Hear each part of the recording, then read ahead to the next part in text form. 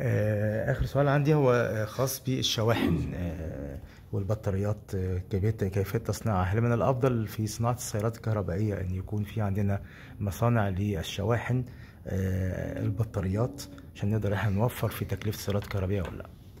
So basically, it's about uh, the chargers of uh, the batteries.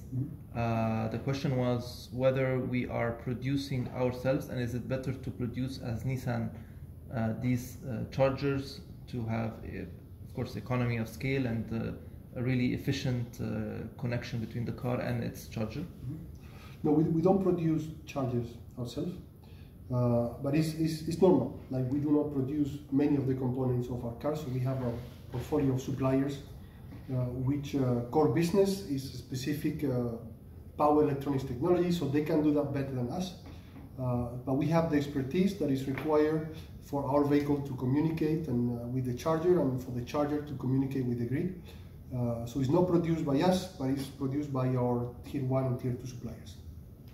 تمام زي كل الكومبوننتس بتاعت العربية آه، مش كل حاجة إحنا بنصنعها ما نقدرش نصنع كل حاجة بنخلي الناس المتخصصة هي اللي تصنع الحاجات بتاعتها فلا إحنا مش بنصنع حاليا آه، شواحن لكن بنشوف مين أحسن حد في المجال دوت هو اللي بيصنعها Thank you.